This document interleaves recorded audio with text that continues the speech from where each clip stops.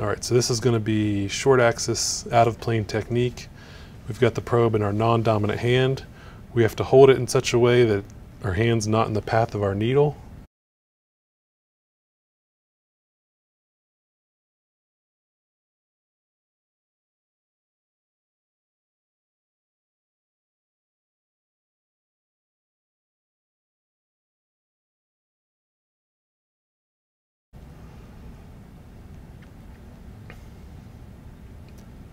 We find our target in short axis.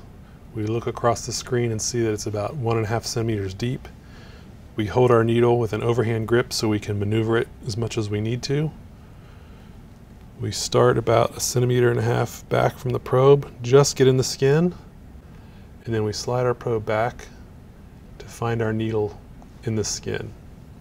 And then we slide our probe back to find our needle in the skin. And then we slide our probe back to find our needle in the skin. And then we slide our probe back to find our needle in the skin. And we'll shake it a little bit, that helps us identify it.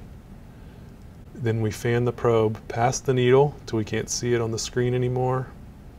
Then we fan the probe past the needle till we can't see it on the screen anymore. Then we fan the probe past the needle till we can't see it on the screen anymore. Then we fan the probe past the needle till we can't see it on the screen anymore.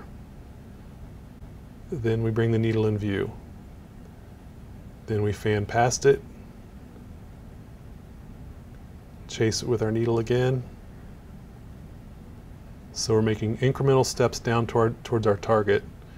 This helps us make sure we don't go all the way through it and hit a structure in the back that we don't intend to, like a nerve or an artery. And now looks like we're in. We can confirm in a long axis view. And now we should be able to thread our catheter off if we're ready. Or place a wire if we're doing a Seldinger technique.